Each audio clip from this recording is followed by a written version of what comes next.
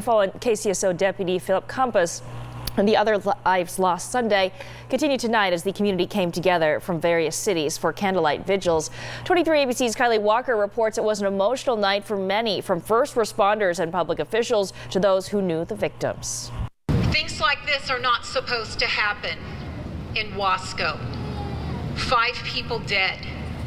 Things like this are not supposed to happen anywhere. District Attorney Cynthia Zimmer is looking back to the hostage situation that turned deadly in Wasco on Sunday, prompting the community to gather for a local candlelight vigil on Tuesday to remember those lives. You know, my first instinct was, man, he can make it out of there. Come on, I hope it's not him. You know, all those things went into my head.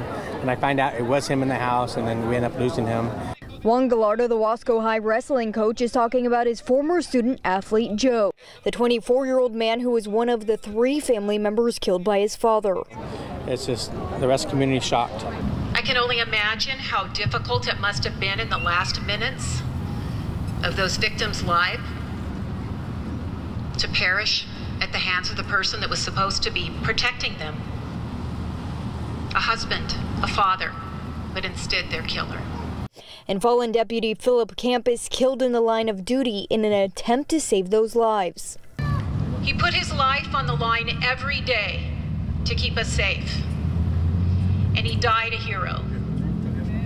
He died rushing in to rescue people,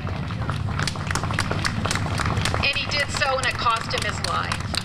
And the mourning continued over in downtown Bakersfield as community members gathered for the same purpose. This was needed. Uh, the people are hurting, not just only here, but all across this country.